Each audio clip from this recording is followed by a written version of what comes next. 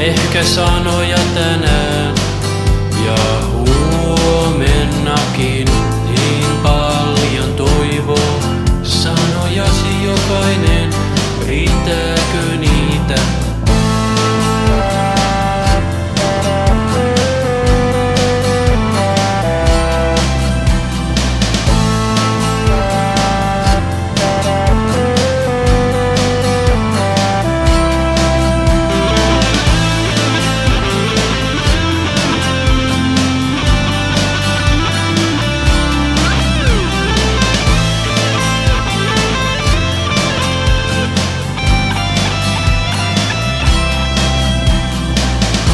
Rakkas runoa, se kirjoittaa itsensä ilman sanoja.